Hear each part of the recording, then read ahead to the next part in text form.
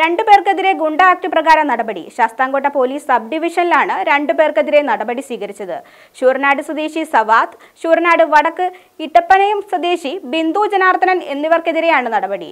സവാദിനെ ആറുമാസത്തേക്ക് കൊല്ലം ജില്ലയിൽ പ്രവേശിക്കുന്നതിൽ നിന്ന് വിലക്കേർപ്പെടുത്തിയിട്ടുണ്ട്. സാമൂഹിക വിരുദ്ധ പ്രവർത്തനങ്ങൾ തടയാനുള്ള നിയമത്തിന്റെ പതിനാറാം വകുപ്പ് അനുസരിച്ചാണ് ശാസ്താംകോട്ട പോലീസ് സബ് ഡിവിഷനിൽ രണ്ടുപേർക്കെതിരെ നടപടിയെടുത്തത്. ഷൂർനാട് തെക്ക് ഇരവിച്ചിറ കിഴക്ക് കലതിപുള വീട്ടിൽ സവാദ. ഷൂർനാട് വടക്ക് ഇടപ്പനയം പാറക്കടവ് അമ്മു നിവാസിൽ ബിന്ദു ജനാർദ്ദനൻ എന്നിവർക്കെതിരെയാണ് നടപടി സ്വീകരിച്ചത്. കഞ്ചാവ് വിൽപ്പനയും വധശ്രമവും ഉൾപ്പെടെ നാല് കേസുകൾ പ്രതിയായ സവാദിനെ ആറുമാസത്തേക്ക് കൊല്ലം ജില്ലയിൽ നിന്നും നാട് കടത്തും.